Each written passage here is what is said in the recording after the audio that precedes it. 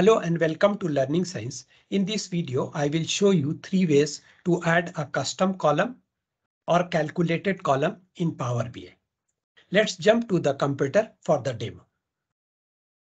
So first I will show you using a Power Query. So I will go to Transform tab and click on Transform Data to go to Power Query Editor. So this is my data table.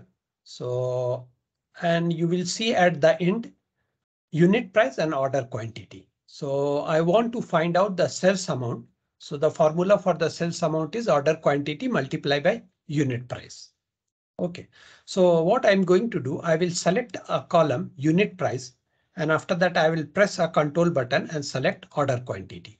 So unit price and order quantity column has been selected. Now on the top menu, I will go to add column. And here you will see the standard options. If you click on the standard option, option, you will see add, multiply, subtract. So my formula is unit price multiplied by order quantity. So I will click on multiply. Once you will click on the multiply, you will notice here the new column is added. And let me rename this column. And I will say sales one. OK. So unit price multiplied by order quantity. So let us check that. We'll bring the calculator and we'll see the our unit price is 2039.99 multiply by 3.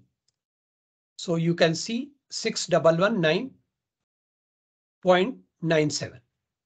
OK. Now this is the first way. Now let me show you the second way. In the same options, add column, I will go to here in the second last from your left hand side, custom column. Click on the custom column. And you have to give name to this column. Sales I am giving sales 2. And here I will click and you will see right hand side. You will see all the field from the table. So what I'm going to do from here, I will select unit price. So double click on the unit price. It will be added here. Then I will press a space and I will say multiply.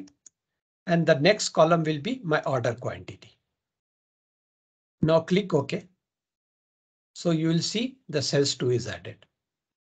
OK, this is the two way using a Power Query. Let me go to the Power BI apply and close.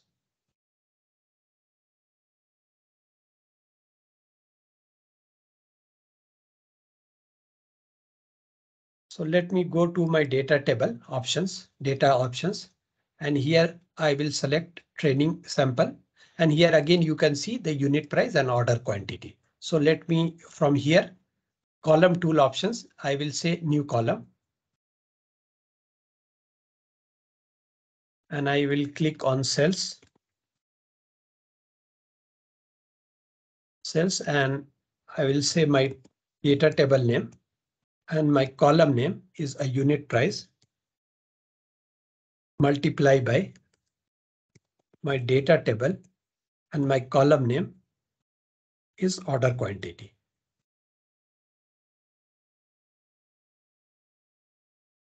So my sales amount is calculated. So let me go back to Power BI visual and let me add a one table visual. And from my data table, I will select a region. And I will select a sales column. So you can see the region wise cells. This sales column just now we have calculated. Now using a Power Query.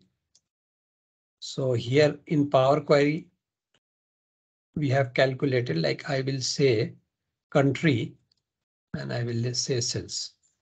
So this is using a Power Query. That's all for this video. I request you to please subscribe my channel. Thank you for watching.